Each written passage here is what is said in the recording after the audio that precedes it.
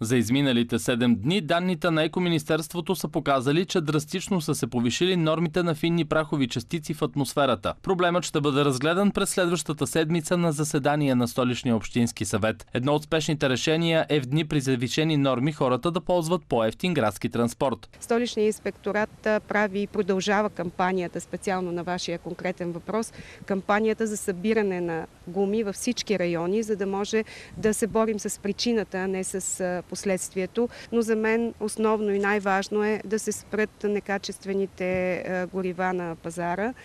Затова, знаете, по наше настояване Министерството на околната среда и водите разработва и имаме уверението, че вече са готови с стандартите на горива, така че на пазара да не се пускат горива с повишено съдържание на пепел, на сяра въглища и така нататък. Общината обмисля в бъдеще да черпи опит от Скопие, където също има проблем с замърсяването на въздуха. Съседите са въвели изцяло безплатен обществен транспорт, докато се нормализират показателите на финните прахови частици в атмосферата. Столичният инспекторат и полицията правят непрекъснати проверки в ромските квартали Христо Ботев и Абдовица и иземат изхвърлените гуми. Столичният кмет и транспортният министр Ивайло Московски официално откриха нов пътен участък, който свързва директно столичния булевард Брюксел с терминал 2 на летището. Бихме искали символично да дадем а, възможност от днес да бъде отворено за движение.